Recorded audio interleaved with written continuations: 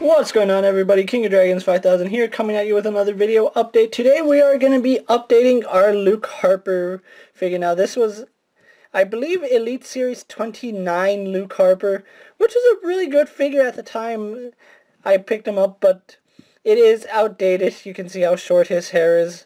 And I really wanted to update it with this new head that we got. I know they are making a new Luke Harper head, but I really wanted this one. I think this is probably the best one. I don't care much for the man bun.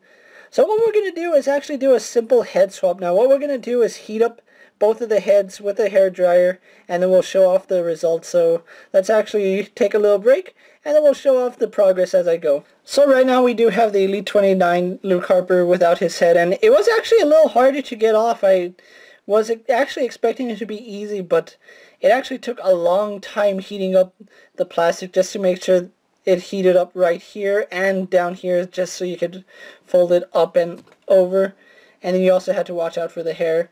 So if this was pretty, uh, I don't want to say hard, but it was if it was a little challenging, I can only imagine what this one's going to be, seeing as how it has the much longer hair and the bushier beard.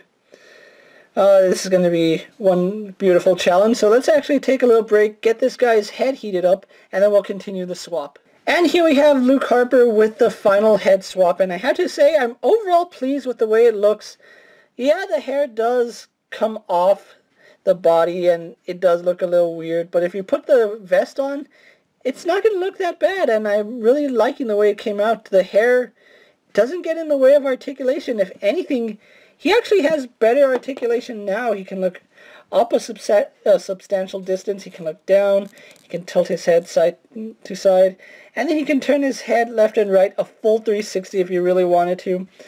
So overall, I'm pleased with this. So let's actually get them on the stand, and let's go to my final thoughts. So overall, I'm actually really pleased with this fix-up. I really wasn't expecting it to go as well as it did, and I really do like the way he looks next to Erick Rowan, and I'm surprised I didn't do that, but I'm probably going to put a pic up just so you guys can see what they look like together.